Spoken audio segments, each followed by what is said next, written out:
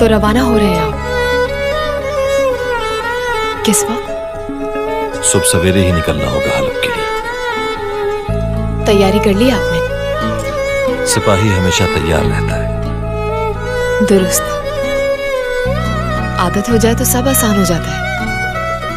पर आदत होने से मुश्किल भी हो जाती है। ख्याल रखिएगा मेरी दुआएँ साथ हैं आपके। हर मुश्किल आसान हो आपकी।